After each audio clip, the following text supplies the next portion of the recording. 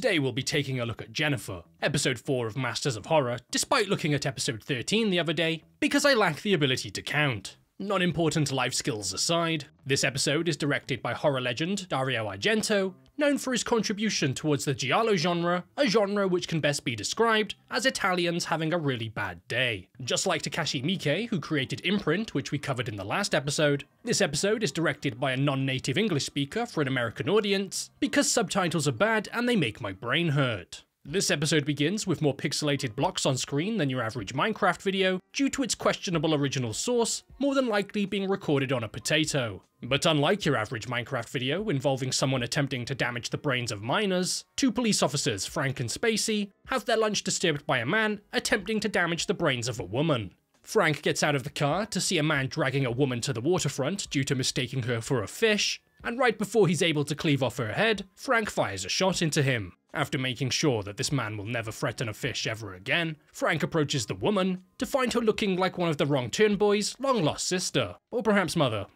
Or maybe both. After bringing her back to the police station after this incident, he catches her staring at him through the glass, kind of like how I used to stare at the lingerie mannequins as a kid. I was a normal child. He returns home, feeling a little bit down after not getting that headshot earlier, and notices that he's got a cut on his hand from untying the woman earlier, due to a run-in with his arch-nemesis the double knot, which for some reason gives Frank the motivation to start sucking the blood out of the wound as if he's some sort of self-cannibalistic vampire who is slightly thirsty. After his midnight snack, his wife Ruby starts coming onto him, but the only hole he's currently thinking about is the one he put in that guy's chest earlier. Not wanting to let something as little as the loss of a fragile human life get in the way of him getting off, he proceeds to do just that, except angrily, as for some reason he loses control and hurts his wife, like the loving, caring husband that he is. Unfortunately for Frank, it's work policy to receive a psych evaluation after executing the mentally impaired, but at least he gets to learn the woman's name is Jenifer and that she's currently being held in a psychiatric facility for the evil crime of looking a bit weird a psychiatric facility that Frank proceeds to visit, resulting in a big hug from Jenifer the moment she sees him, because nothing fills her with more joy than a man who's just shot someone. After realizing that this isn't a very nice place for anybody to be staying, he for some reason takes it upon himself to check her out of the professionally trained and well-equipped facility, to bring her back home to his not well-trained and professionally equipped home, which I'm sure is only slightly illegal and definitely not ethically concerning at all. He doesn't tell his wife or son about it, because his perfect idea of a prank is jump scaring them with someone's hideous face, and he sets her up a place to sleep on the sofa, in which she returns the favour by wiping her mouth slobber all over him. She must be French. Once morning arrives, Frank wakes up to the rather annoying sound of a woman crying in his room, when suddenly Ruby walks in and screams after seeing her on account of having a phobia of the ugly. Ruby demands that Jenifer leaves at once due to having a rather low tolerance for the attractively impaired, to which Jenifer replies by biting her in the face. I told you she was French.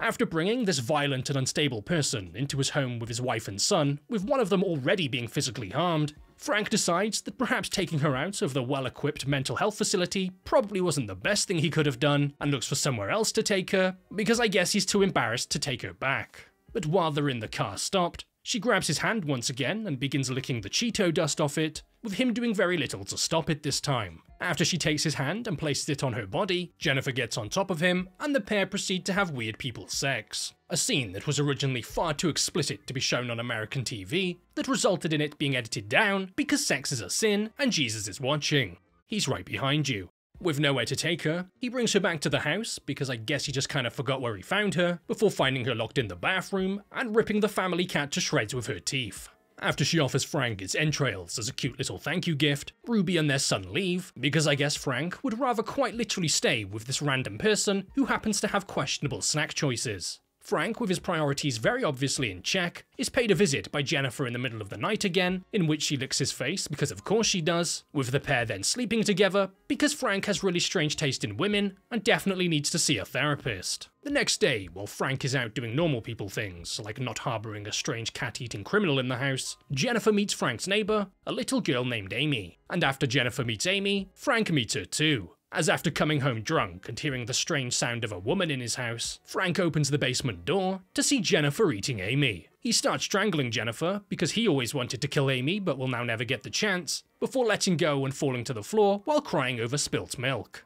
well, spilt guts. Despite being a police officer, not sure what to do with the cannibalistic child consumer, he decides to head to the circus in town, which just so happens to have a sideshow attraction, because apparently it's the year 1920. Like the excellent police officer that he is, he offers to human traffic her with the circus owner and gives him a spare set of keys to his house to go and retrieve Jenifer. And sometime later, after returning to a now empty house that's rid of a problem that he brought here for literally no reason, he opens the fridge to find a problem.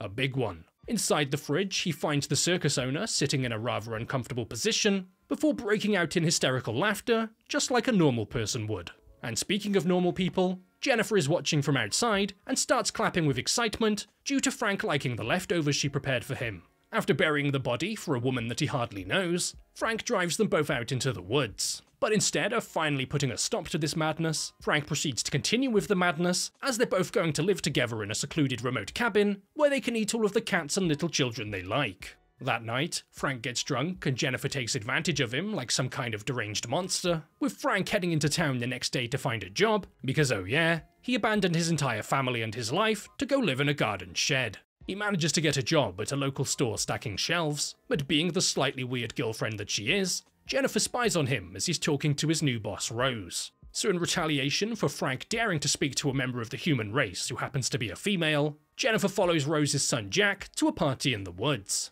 While there, she lures him deeper into the woods by just kind of existing, before suddenly turning around and strangling him, because boys are gross. After finishing a late shift at his job, Frank returns home to the cabin to find Jack handcuffed in the cellar, with Jenifer eating his genitals for an extra source of protein. Yet again, another scene that had to be cut down due to originally being far too graphic, with the original scene involving an on-screen castration, with the scene having to be castrated itself due to them realizing they could only cut off his junk once. Frank, drawing the line at two dead kids, grabs an axe and drags Jenifer out into the woods, with him pulling her towards another body of water, in a scene that's reminiscent of the first time he ever encountered her, and ties her up to a tree stump because I guess it would be a pain to clean it out of the cabin, and is just about to swing his axe into her neck, when suddenly he's shot by a hunter right before he can end it. Much like Frank did with the man at the very beginning of the episode, the hunter has killed her attacker mere seconds before being killed, with her then reaching her hand out to the man, with the cycle being doomed to repeat itself,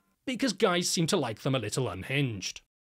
So before this video comes to an end, I'd like to just give a big shout out and a massive thank you to all of the YouTube members and patrons, the people who every month continue to go out of their way and support the channel. If you're interested in becoming a YouTube member or a patron yourself, not only are you just generally being a big help, but you also get access to a few little bonuses, like being able to join the private Discord server, where you can then get access to uncensored versions of all videos going forwards. So starting off with this week's new YouTube signups, a massive thank you to Mr. Smiles, Dre Scramble, Burst Panther, Booked Splash, Bibhav Sharma, Amiruku, Aries, Sivert S. Stems, Dade First, Pascal Pushel, Vicone, and Taigi. Now heading over to this week's new Patreon signups, a massive thank you to Evan Martin, Alex, Gray's Library, Eris Forley, Jazz, Pepe is God, Charlie Satchwell, D. Ali, Scribbling Will, Dichimaru, Jackson Aharu, George S., Luke Hayden, Ryan Grobela, Deirdre Joy, Handon Cherry, Brittany Acosta, Jackson Rodriguez, Michael himself, Justin Reefles, and Kevin Woodling.